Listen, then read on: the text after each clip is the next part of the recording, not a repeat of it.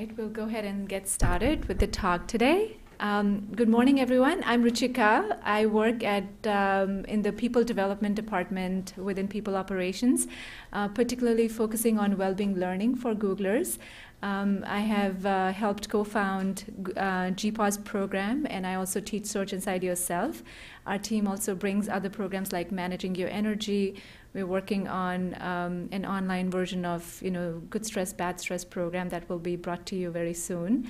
Uh, I'm really uh, passionate about uh, mindfulness as a vehicle for me to have sanity in my work life and in my personal life. Uh, I started uh, these practices about eight years ago, and they have been profoundly helpful um, in all kinds of difficult situations in my life. Uh, my journey started with Search Inside Yourself program here, and I've done some work outside as well. Uh, but as a parent, um, I find so many moments where just being present and aware in times of difficulty when our children are sick, they're having a tantrum. Um, I have an 11 year old daughter, uh, a middle schooler, and a one year old son, and I have a lot of like moments where I um, I just don't know how I can be helpful in that particular situation. So staying mindful and present um, and open to whatever is happening in that moment is has been tremendously helpful.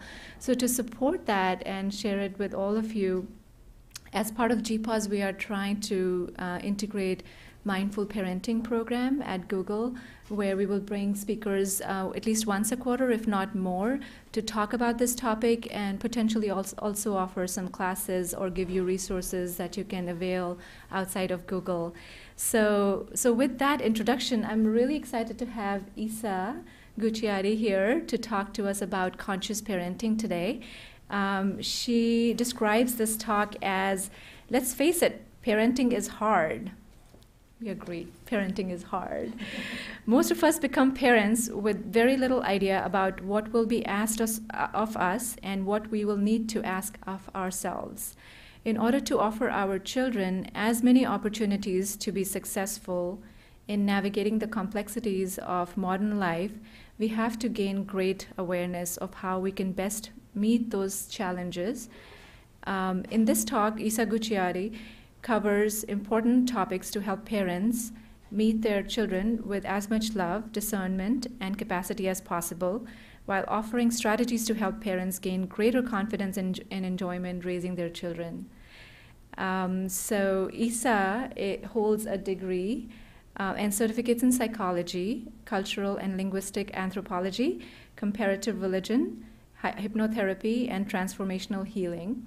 She's the creator of highly effective therapeutic model called depth hypnosis, and she's also the author of Return to the Great Mother, a book that she's gifted to me this morning, and I'm eager to read that. Um, uh, it's a book on birthing. Uh, Isa is the founding director of the Foundation of the Sacred Stream and teaches nationally and internationally. She has two children, so she's been there. It's not all abstract. I'm sure she'll share some of her own experiences with us as well and an active counseling practice in San Francisco where she resides with her partner. Please join me in welcoming Isa, uh, who will take us through this one hour of journey on conscious parenting together.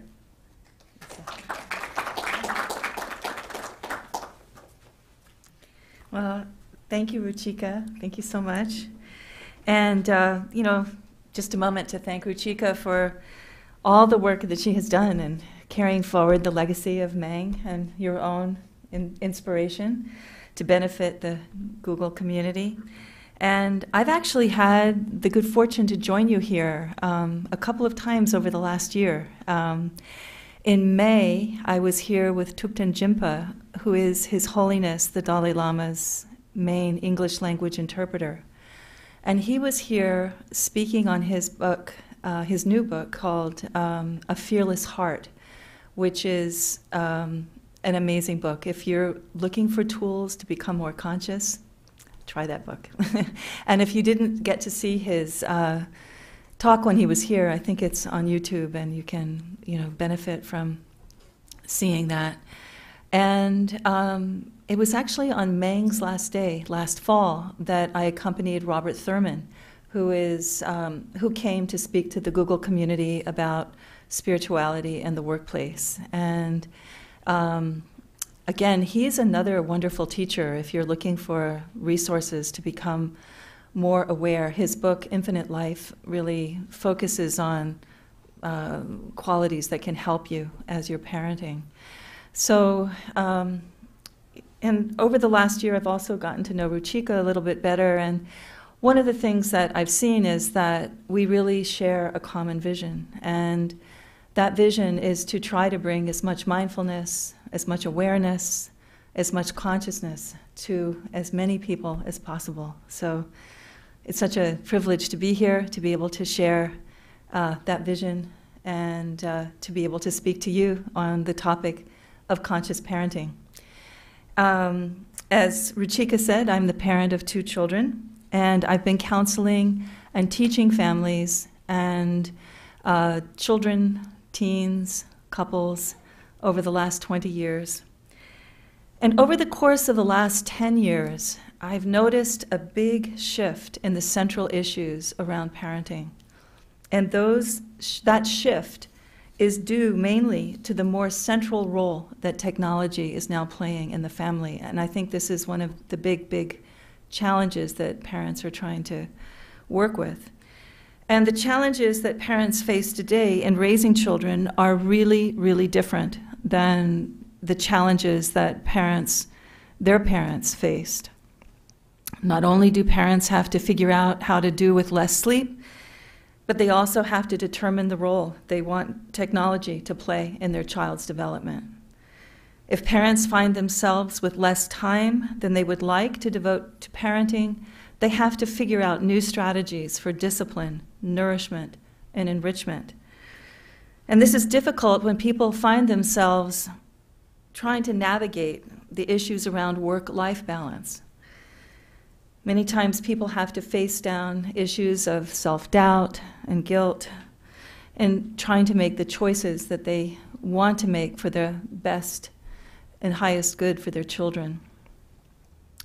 So, one of the first steps that parents must take toward meeting these challenges and learning to parent more consciously is to develop a good understanding of their own values.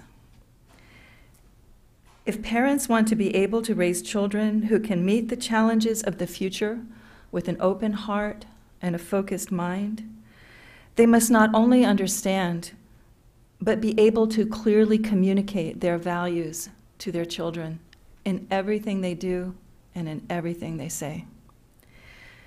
So, in order to be able to communicate values clearly and to apply them in a consistent way, Parents must spend some time learning what their values are.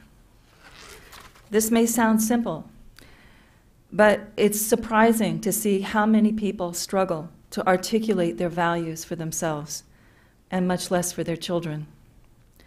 The effort to engage in this articulation is very important. Perhaps one of the most important steps that parents must take in order to parent with more mindfulness and more awareness. Because parenting is taking place now in such a different environment, role models and mentors are difficult to come by. This compounds an already age old problem, which is that many of us were parented by people who weren't parented well themselves. So we have this legacy of uh, less than ideal situations leading into parenting. So many parents just don't have the role models they need readily at hand when they're trying to make decisions about screen time, toilet training, internet privacy, curfews, you know, it's all, all, it's all together. And it's important, therefore, to seek role models who hold the values that you hold and seek their help. In order to do this, you have to define your own values. What is important to you? Do you know how to begin to answer this?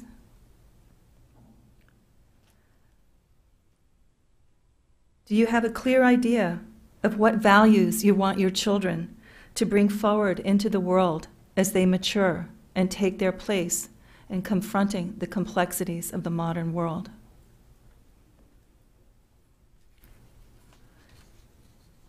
Let's start at a fairly, fairly high level here looking at values.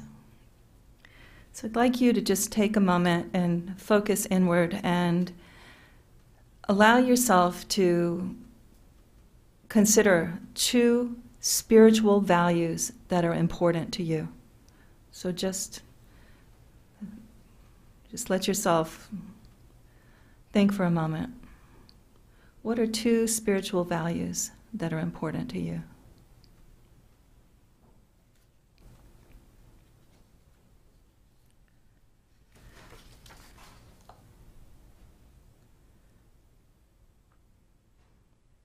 And if you're co parenting,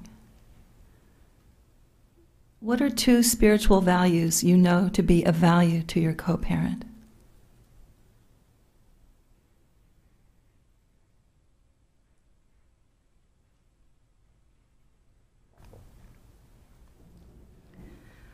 If there are differences in your sets of values, what is your strategy for bridging those differences so you can present a unified message to your children. If your values are similar, what kinds of activities and interactions do you create on a regular basis to communicate those values to your children?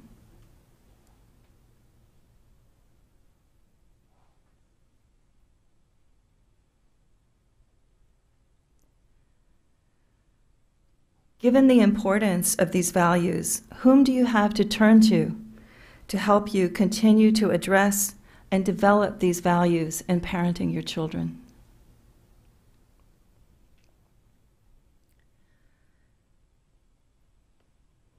You can see how much goes into the development of just one set of values. But there are many other values to look at in order to be able to parent with as much mindfulness, awareness, and consciousness as possible. As I was putting my thoughts together to talk to you, I thought I was going to touch more fully on the issues that we touch on in the conscious parenting classes at the Sacred Stream Center in Berkeley, California. These classes focus on helping parents locate inner resources and learning how to draw upon them better. They focus on helping parents articulate their needs and values. And they help parents learn how to work effectively with willfulness and focus on discipline more effectively. And they offer parents strategies for parenting a child who is challenged. The reason for examining these issues in the context of conscious parenting is simple. When these issues are addressed, the protection and cultivation of the child's authentic expression in the world is assured. And if you were to ask me to define one goal that we as parents must do our best to attain, I would say that it is this the protection and cultivation of our child's authentic expression in the world. So, that is the topic I would like to focus on here today. Whenever I'm working with families, especially the parents of young children, I always try to walk a line between creating a forum where people can understand themselves more fully so that they can understand how many resources they actually have and offering advice or counsel from that place, and the line between offering opinion. I, it's really easy for me to go into opinion about parenting. like, but I'm really going to try not to do that. But I might. I might wander into the opinion place because this is really so close to my heart. This this idea of being able to protect your child's expression in the world. This is so important. Many great educators, including Maria Montessori and Rudolf Steiner, spoke to this issue, each in their own way. They each offered structures that support children in having the freedom to discover their own unique talents, gifts, and capacities. And they also offer structures to address areas of weaknesses or obstacles that children may have which affect their ability to fully move into the world with those native gifts. The reason that the discussion around values is so important is because it is values that become the structures we offer our children within which they learn to express themselves. I'm going to say that again because it sounds complicated, but not, can't get there. I'm going to do it again. The reason that the discussion around values is so important is that values become the structures we offer our children within which they learn to express themselves. If we do not have clarity around our own values, we cannot offer effective structures to our children. And worse, if we have no values, or values that actually inhibit the authentic expression of the child, children spend important and developmental time trying to adapt themselves to values which have nothing to do with their authentic expression, and which, in fact, may impede it. How many of you have spent time trying to navigate around a parent with anger issues or addiction issues? What did that do to your ability to know what calls to you from your own heart?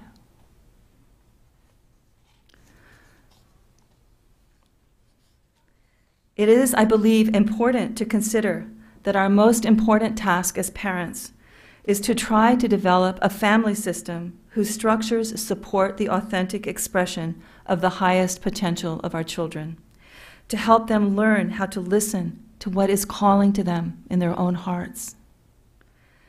This may sound easy, but it's not. When some people hear this, they think, okay, anything goes let the kids do whatever they want. As long as they're expressing, it's going to be okay. Or other parents may hear this and think, okay, I have to figure out what my child's highest potential is and steer that child toward them at every turn. Other parents may respond, they're my kids, they're going to do what I want, not what they want. But the task at hand is more nuanced than any of these approaches. First of all, we need to define what we mean by a child's highest potential, which I am using interchangeably here with the child's deepest calling, the child's most authentic expression, the child's gifts. I'm using these terms interchangeably because they each offer a different view and definition of that, that point to the complexity of the deepest aspects of our children. Naturally, every child's highest potential has its own expression. Every child has a set of gifts that she brings into the world that resonate with her highest calling. We mm-hmm. must at once try to tune ourselves to this deepest aspect of our children, understand its requirements, and get out of the way of impeding its expression, while at the same time creating structures which support it. This may sound like rubbing your belly and tapping your head at the same time, and indeed it is. But it is something we can learn how to do. So, I would like to identify some of these tasks that will help you with this process, first individually, and then show you how to put them together so that the tapping and the rubbing seems intuitive and easy. These tasks center around a set of questions I would like to offer you. First, how do I recognize my child's deepest calling?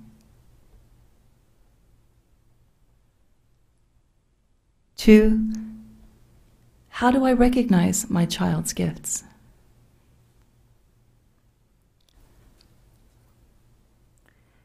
Three, why do I have to get out of the way of the expression of my child's potential?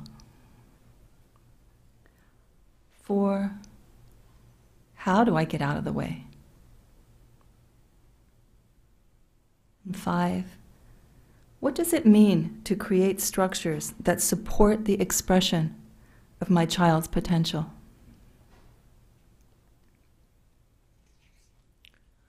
So we're going to address each one of these individually. The first question is, how do I recognize my child's deepest calling? This is actually surprisingly easy to do. It is really just a matter of watching what your child is drawn to your children will naturally be drawn to their highest calling if they are not interrupted. How do I recognize my child's gifts? The answer is the same. Watch what your child is drawn to. But recognizing the child's gifts goes one step further. This involves watching what games the child creates, what stories the child tells, and the way the child seeks to express herself. There is an important part to cultivating a child's gifts that has to do with the filtering of the kind of information that the child uses as raw material for that expression. And I will speak to that in just a moment. The next question is why do I have to get out of the way of the expression of my child's potential? We tend to think of our children as ours but they actually belong to themselves. If they are lucky, their path through this life is a long one that extends far beyond the few years that we care for them. It is important to consider that your ideas about what you want for your child, beyond wanting them to be happy and safe, might become interrupting to their natural expression. How many of you wanted to study music, but were told by your parents you had to go to business school?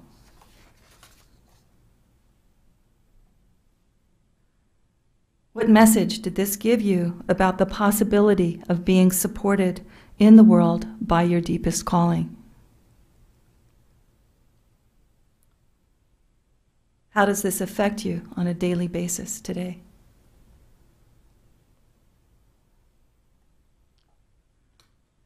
With this information, consider how important it is to give your child the message that he can trust his deepest calling and that he will be able to find a way to let that expression of that calling, whatever that expression is, support him. Give him practice in letting all the potential that the calling and that calling express itself by supporting what he loves and step out of the way. Next question is how do I get out of the way? Well, I've got a long answer to this question, so bear with me. One of the best ways to get out of the way is to look at your attachments to your children being a particular way. Those attachments are probably a function of something that did not work in your own childhood. For instance, let's say you grew up in a household without a mother present, and you felt her absence keenly. You grow, you marry a woman, and you have children. And then you realize this woman is more problematic than I thought.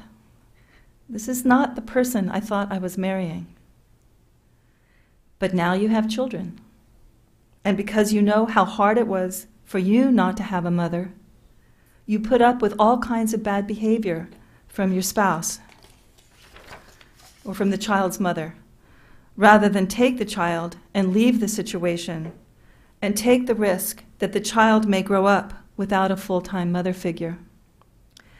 If you were not so attached to your child having a mother because of the pain that you experienced at not having a mother, you might have more clarity in responding to your spouse's bad behavior. Who knows? Not having this problematic woman in your child's life on such a consistent basis might be the best thing for your child. But you cannot see this or even consider it because of the unaddressed issues that you carry from your own wounding at being motherless. In many ways, when we talk about conscious parenting, we are talking about becoming more conscious of ourselves.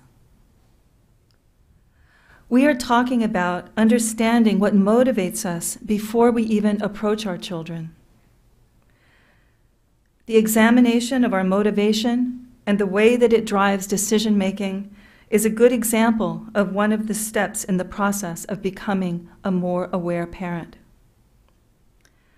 Again, one of the best ways to get out of the way is to stop risking interrupting your child's authentic expression and to look deeply at your own experience of being parented.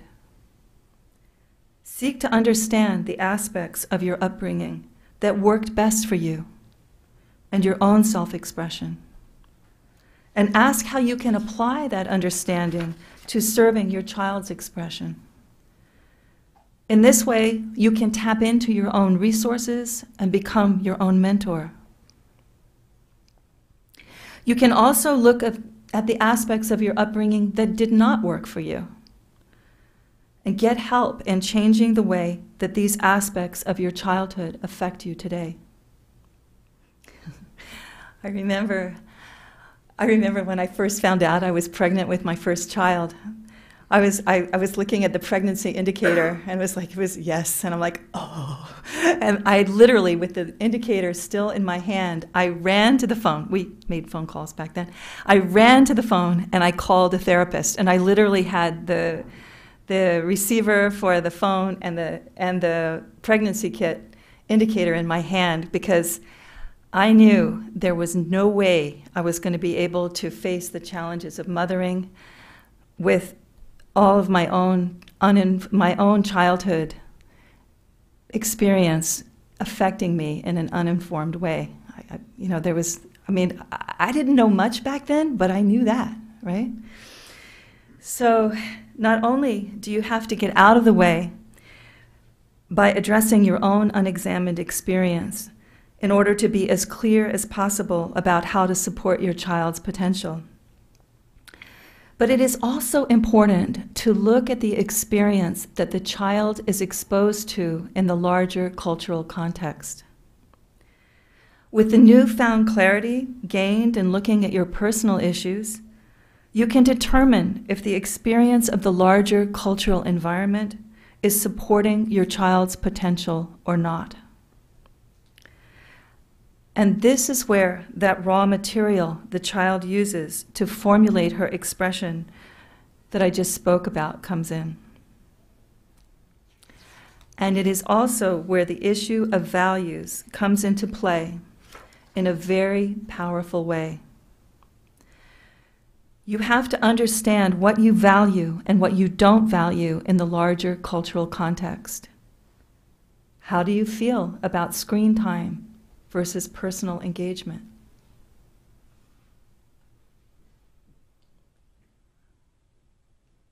Something to think about for a minute.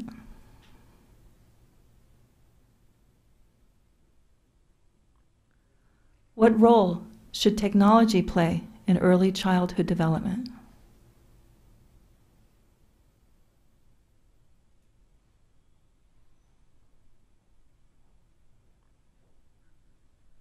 What level of violence in computer games is acceptable to you?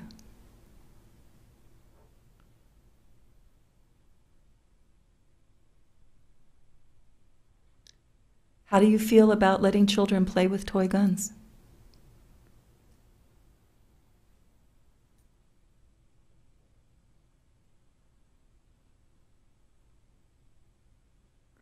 The answer to these questions will determine the answer to the last question for you. What does it mean to create structures that support the expression of my child's potential? The choices that you make around values create the structures that support your child's development. If you have no defined value system, the values of the larger cultural context will become the structure that supports or impedes your child's expression. If your values are based on an unexamined response to the way you were parented, they will become the structures that support or impede the expression of your child's authentic self. Is this what you want for your child?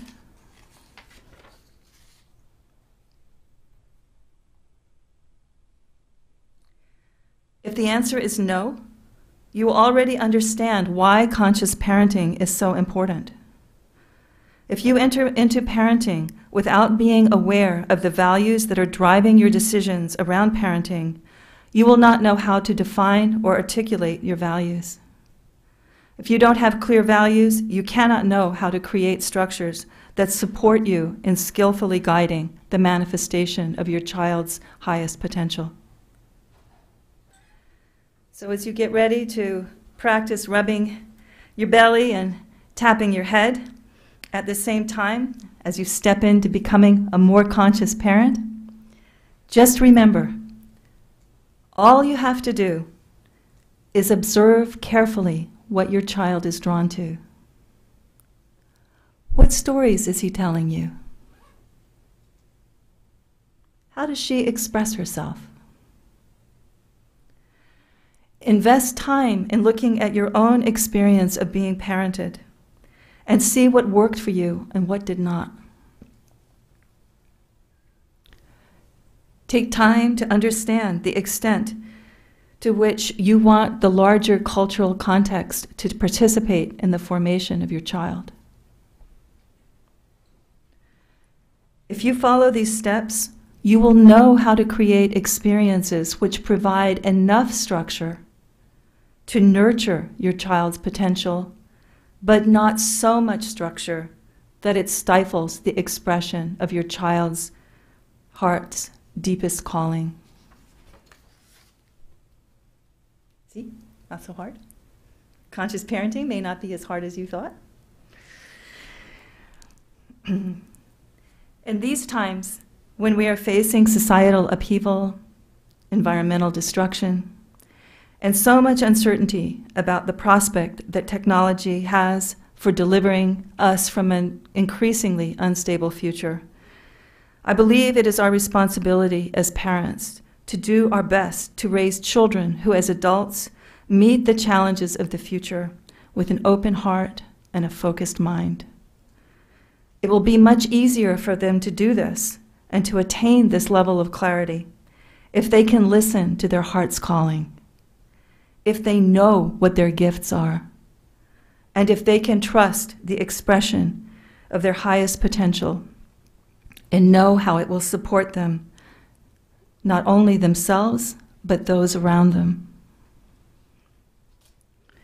So, if you'd like to explore these matters in more depth and gain more insight in how to parent more consciously, Please join us at the Sacred Stream Center in Berkeley. Uh, classes are starting, weekly classes are starting March 2nd.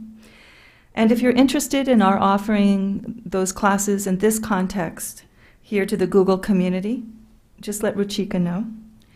But for now, I ask you to bring forward some questions. I love questions, even questions on things we haven't covered, because there's so much to parenting that it's hard to cover it in a short talk. So uh, please, anybody have any question? You had a question, right? Ruchika, did you want to say something? Pass on the mic. Oh, okay, put it under here, there it is. You had a question, right? Questions? He had a question. Hi, I'm Philip. Thanks for uh, being here.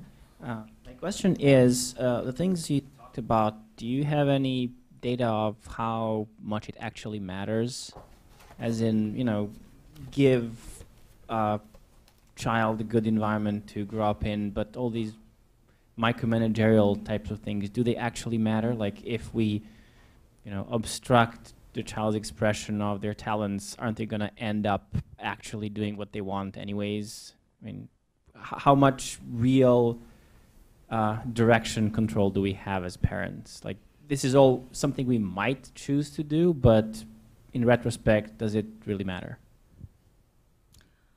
Well, you know, if you're going to speak at that level, you know, then you're, you know, you're saying, well, a child has their own destiny, they have their own fate, It doesn't matter what we do because they're following it. Is that what you're saying? I, I'm not a proponent of fate. I'm just asking about the data. um, I think that it's it's difficult when you're dealing with issues of expression of sort of the ineffable. It's hard to have hard data that supports or that denies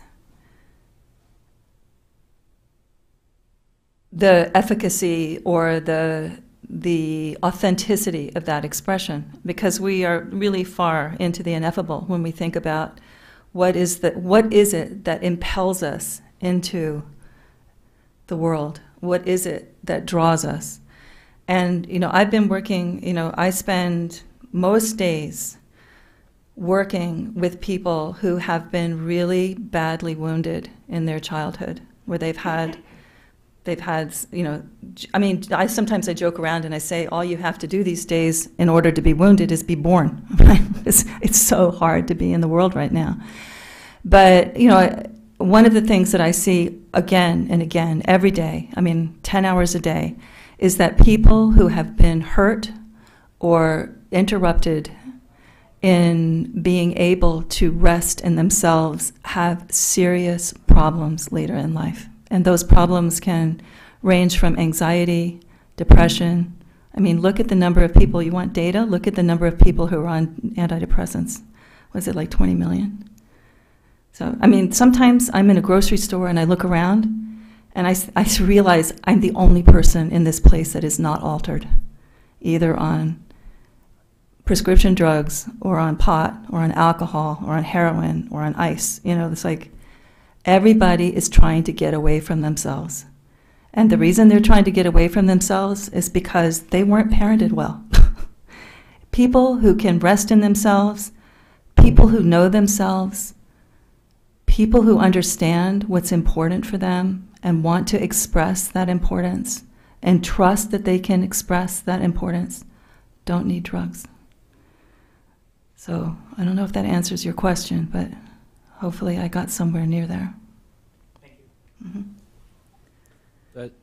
as I've been trying to become uh, more mindful in my own practice and, and not trigger as quickly and you know, be a little more detached and that sort of thing, one of the places I've found it hardest to do that is in parenting. I have a almost five-year-old girl and a one and a half-year-old boy, and one of the things I've noticed is, um, you know, they, obviously kids trigger you a lot, right? They're sort of almost programmed to.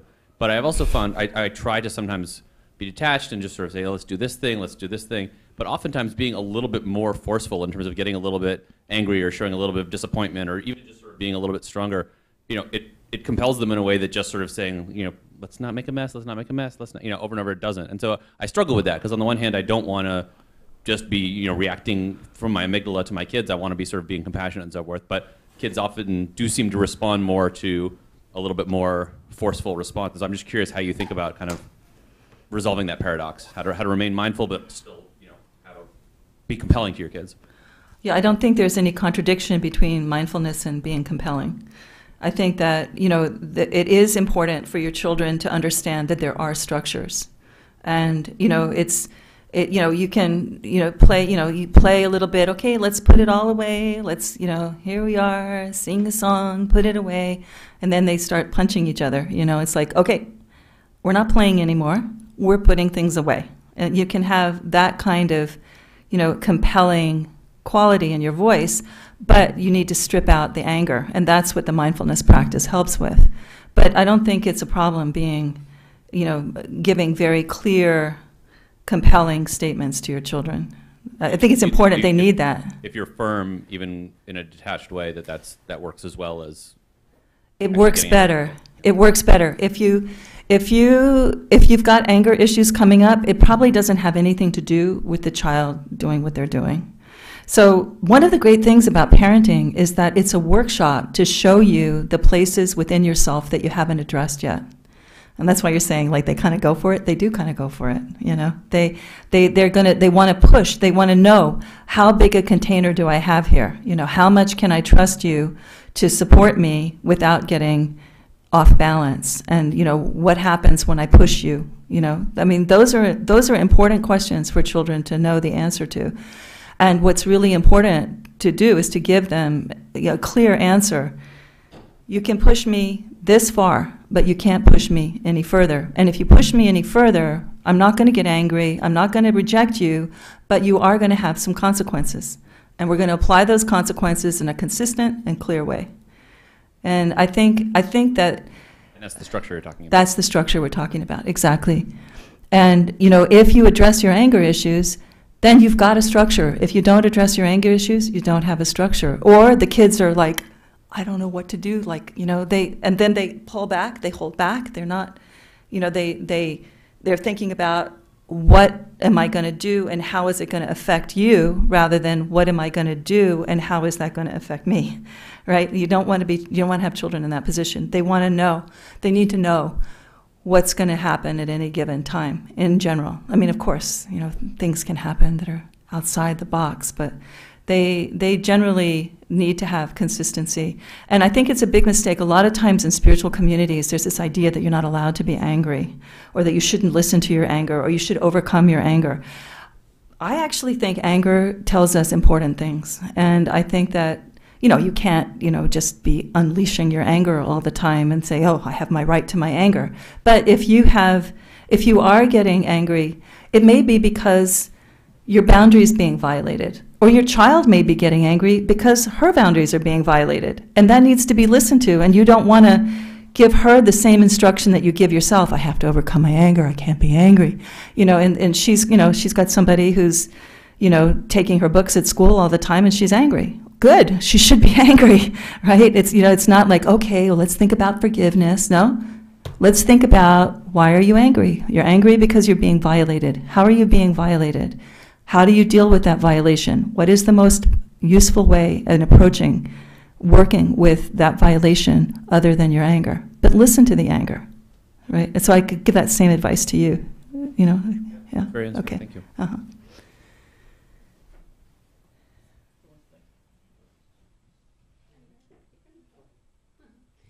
Um, Thank you. Uh, how useful would it be if, in addition to listening to their child's calling and interest and providing that environment for them to fulfill that potential, you also introduce um, like a more structured mindfulness practice, some sort of practice in which they are asked to sit and to breathe and to do something that clearly is not coming from them, but rather from us trying to teach them some tools and skills that are useful for us. Um, is that going against that principle of allowing them to be themselves? No, the idea of doing some kind of a structure like a mindfulness practice is exactly what I'm talking about. It's a structure that's coming out of a set of values that you hold dear. Okay? So you're going to sit with your child and say, okay, this is something that's important to me. This is something that I value, and I'd like to offer it to you to see what you do with it. Right? And there, you know, I don't, I don't think that that's inhibiting the child's expression in any way. It's, it's offering again structures that are based on your values through which the child can learn about themselves, and that's helpful. Thank you for the talk. I was wondering about the idea of the um, the deepest calling, and to what extent do you think it's something that's kind of set at birth, and to what extent do you think it might be influenced by the experiences the child has, maybe before he or she is able to to demonstrate uh, affinity for any particular sort of thing? Um, Sorry, that what?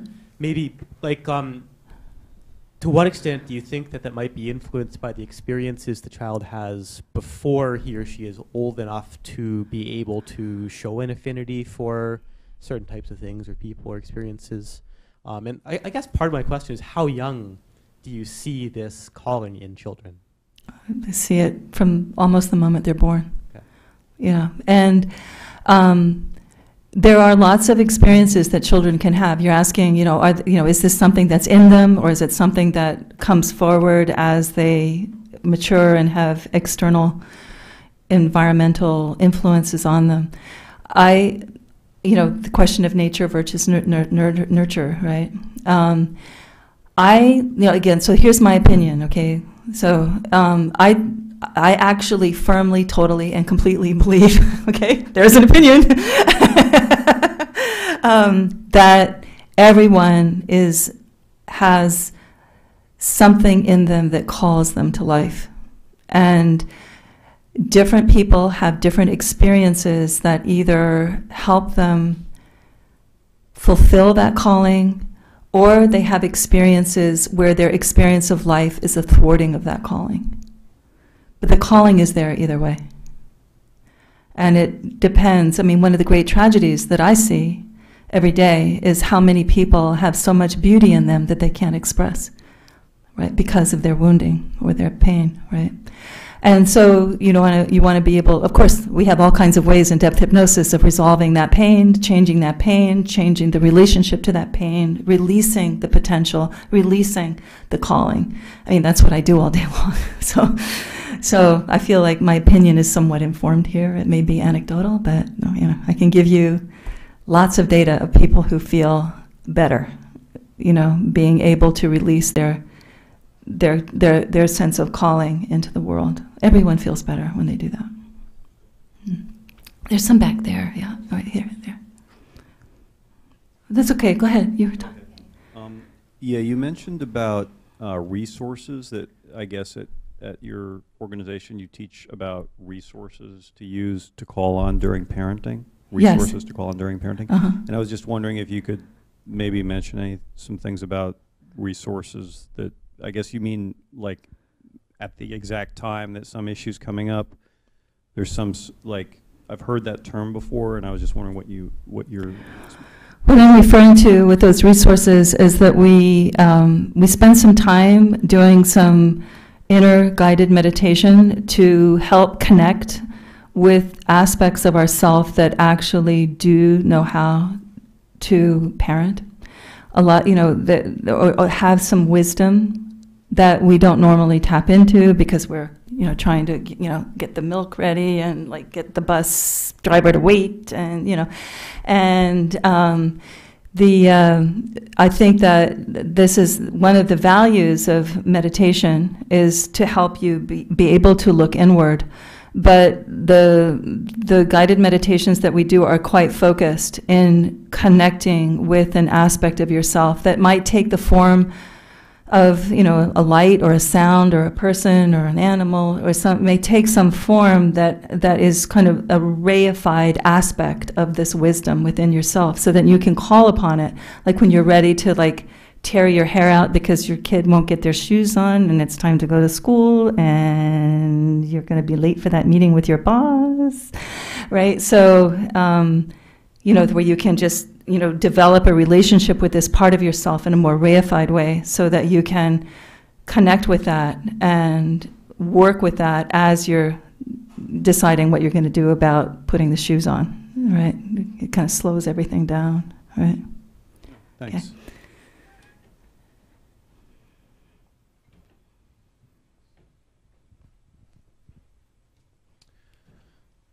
Thanks a lot for your talk. Um, I particularly um, appreciate your focus on like really helping the kid discover themselves.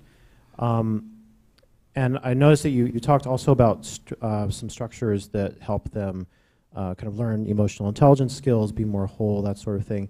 Um, but I feel like as a parent, you are sort of bombarded with all these structures that people suggest or that you know society holds as like a standard, um, and so you very quickly get into the situation where you know you have to choose those structures, and in so doing, you kind of choose.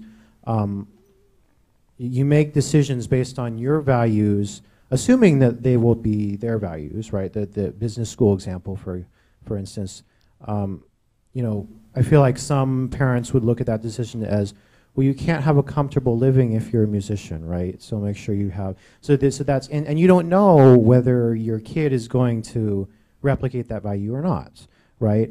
Um, and then there are other things that, you know, structures that seem kind of arbitrary, like, uh, anything from table manners to you know learning how to spell correctly.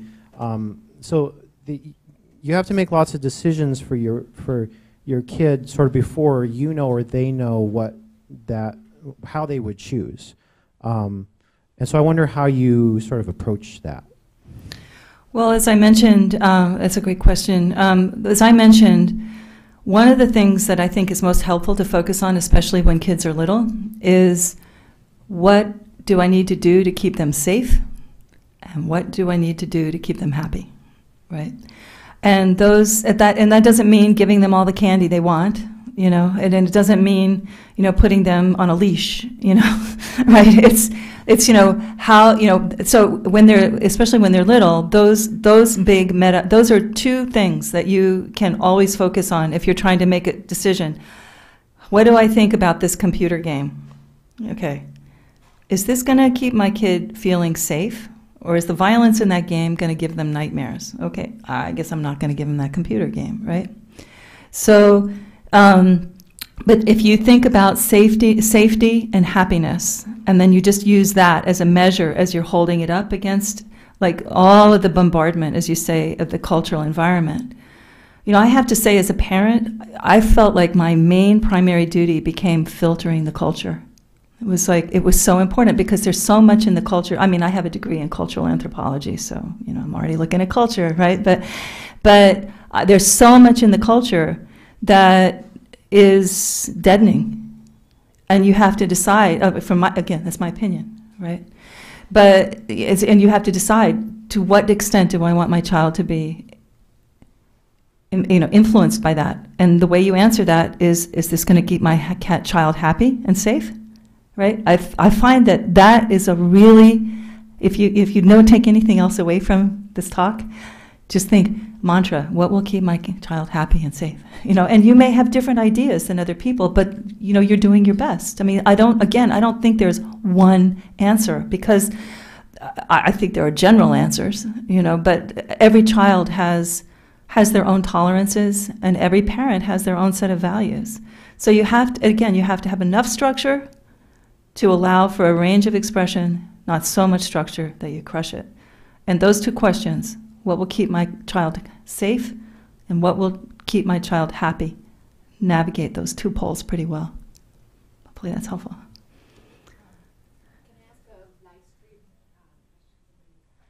Yeah.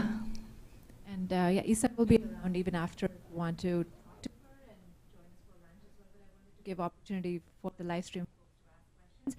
So one person emailed Kendall. Uh, Ruchika, I'm sorry, I don't think that's on, so in case. Is it? Yeah, Okay. but Oh, okay. Okay, I'll come closer to you Okay. so you can hear me.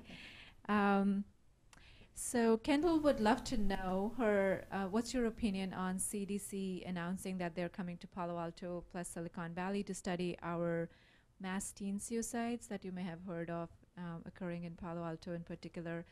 And why do you think that might be? Um, she thinks that she she has her own hypothesis of like because she lives here, but is interested in knowing what's causing um, what could be causing the teen suicides Um, the question is uh, from the live stream what do I think might be causing the surge in teen suicides in Palo Alto? Well, the first thing I always say is that every case is completely individual. You know, it's very difficult to make generalizations about any form of behavior. Um, I would say that you know, this is a very difficult time to be alive. I would say that, you know, our children at a very young age are dealing with the specter of environmental destruction. There's a great sorrow in that. I also think, and that's it's very hard to be young and realizing that, that this is what's happening, right? It's hard enough for us as we're older to confront it. But I think that also there is a lot of violence in this culture. I, you know, I know that's my opinion, but there is a lot of violence in this culture.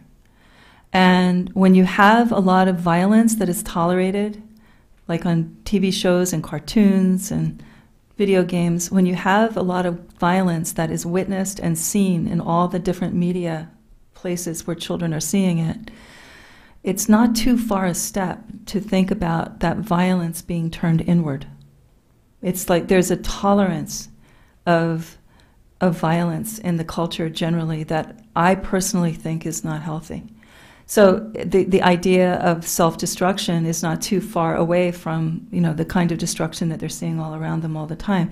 Now, I think that every one of those children, like I would really like to sit down with every one of those children, or, you know, I would have loved the opportunity to sit down because there is this phenomenon that is occurring, and this is something that Jinpa spoke to, and it's something that I speak to all the time, which is this split within the self that arises in the West, which is a form of self loathing. And it's a disease that we have here in the West that doesn't seem to exist so much in other places, although everyone else is catching it. but um, this inner division of um, the rejection of the self. And Jinpa tells a story about this. Well, I actually, before I got to know Jinpa as well as I do, um, I used to tell this story because I heard this interview that he gave on Fresh Air in you know the 90s. And when Terry Gross asked him, um, What is the most difficult thing you've ever had to translate for His Holiness? And he said that he was in an East West conference and he translated the word self loathing into Tibetan. And His Holiness stopped him and said, No, no, no, no, you must be doing that wrong. That must, that's the wrong, that's the wrong translation. And Jinpa said, No, that's, that's the translation. It's self loathing. And His Holiness said, But the self cannot loathe the self. So, I mean, one of the most erudite people on the planet did not understand that we do have this disease here in the West of the self loathing the self. And this is one of the primary things that I work with. Um, I'm, I have a new book coming out called Coming to Peace, and it's about the reflection of inner violence in outer relationships and the way that our outer relationships express or give us information about our own inner violence, other other inner experience as well. But um, it's a book about conflict resolution, basically saying that we cannot have peace in external relationships until we have peace in the, the internal relationship with ourselves. And I think that there is this idea, you know, this scientific idea that, you know, you know, what is this self? You know, you know, this is not scientific. We can't prove it. You know, what is this? And there's this rejection of spirit, this rejection of the soul, this rejection of this deeper part of the self, which is extremely unscientific. Uh, to uh, just reject this aspect of experience. And so people don't have tools, they don't have vocabulary to speak to this kind of inner dislocation that they experience because it's there's nothing, you know, rational or, you know, replicable about it. And yet, people suffer deeply internally because they cannot rest in themselves. And one of the reasons they cannot rest in themselves is because they look around them, there's so much violence, there's no place to rest externally. They go inside themselves. They haven't been able to develop resources because everyone says there's no such thing as spirit, there's no such thing as soul, there's no such thing as the deeper self. And so they're left with this emptiness, right? So there's my attempt to answer that question. And I would imagine that most of those teens were walking somewhere along in this field of experience that I've just described here. Thank you, Isa, for coming down today and answering our questions and sharing your wisdom. Um, Isa will be here for uh, lunch, so if you want to join us or ask her, uh, questions if some of them were not answered, please come up and uh, and join the Mindful Dash Parenting Group. Right now, I'm announcing it to gPause at an SIY Alumni and Parents Network, but I'm sure like not everybody is a parent or interested in it, so we'll start communicating to Mindful Dash Parenting Group more about these conversations and talks. So, um, and if you want, if you have passion for this field, you know, just write to me and we can organize events and classes here together as well.